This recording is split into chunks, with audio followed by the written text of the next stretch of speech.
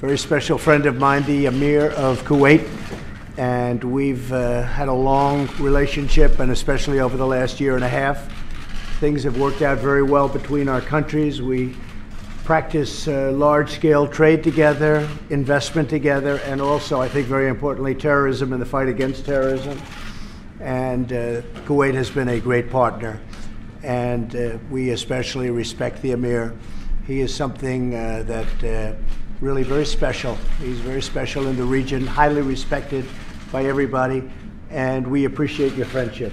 I have to say that Kuwait has made tremendous investments in the United States, and uh, they're buying a lot of equipment and a lot of military equipment in particular, which we encourage. That's jobs for the United States. Nobody makes jets, fighters, and uh, all of the different uh, components better than the United States. We're way advanced over anybody, and that advancement has really been enhanced over the last short period of time.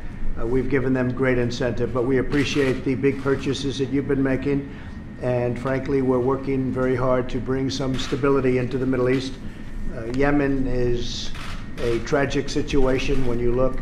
There's so many tragic areas in the Middle East. It's a very hard, it's a very hard thing. It's a very complex uh, jigsaw puzzle, but we're making big strides. Uh, Iran is a very much different place from when I first took office. Iran is in turmoil right now. They're in total turmoil when I took office, it was just a question of how long until they took over the entire Middle East.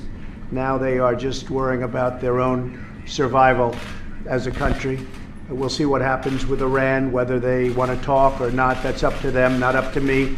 I will uh, always be available, but it doesn't matter one way or the other. We'll see what happens. But Iran is a much different place than when I took over the presidency. I can say that for a lot of countries around the world. The United States is stronger now than ever before.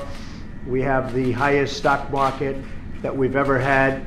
Uh, if you invested in the stock market, on average, we're up over 45% on the various markets.